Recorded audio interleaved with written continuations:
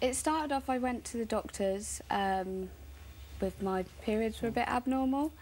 So they referred me to a hospital and they, when they weighed me, they said that I was um, classed as obese.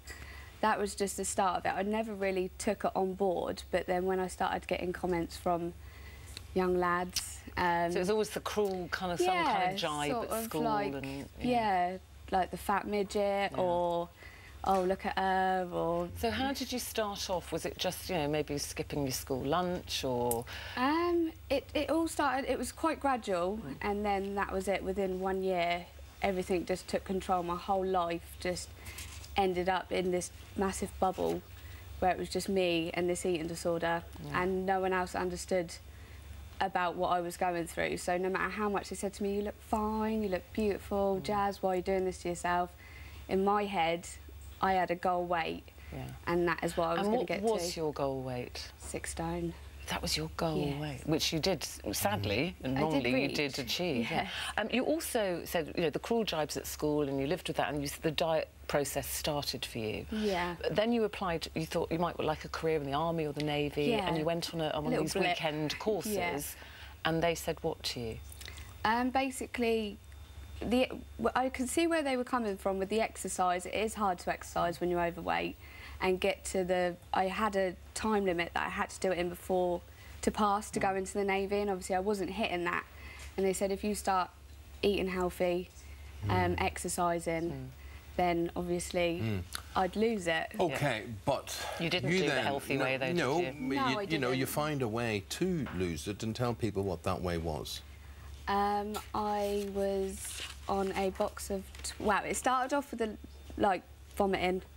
I was binge eating, projectile vomiting. So you had multiple yes. eating disorders yes. and you were cultivating this, but then the addiction came and the addiction yeah. was to laxative It was pills. to laxatives. So the more I was losing weight, that I, uh, I was looking for other ways to lose more weight. So not only was I starving myself, I was drinking cups of tea, Red Bull, anything with a massive amount of sugar just to keep me going. So no food, but no.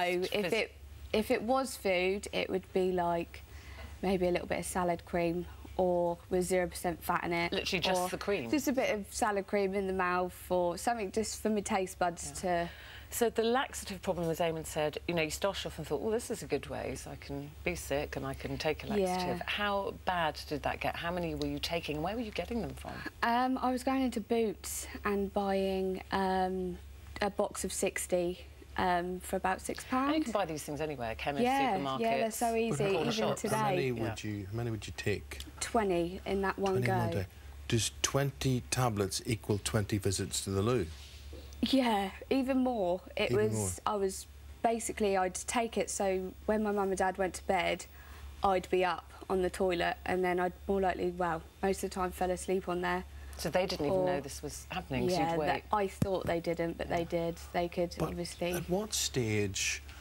does the reality leave you that, um, yes, OK, you've got the buzz, you've got the fix, you actually realise you're achieving your goal of losing weight, but with the best will in the world, that must hurt. It must yeah. hurt a lot sitting on the loo it 20, was... 30, 40 times a day. I went through 15 hours of labour. It doesn't seem that long, and that was nothing compared to being sat on that toilet in... I used to rock backwards and forwards but, but... in agony.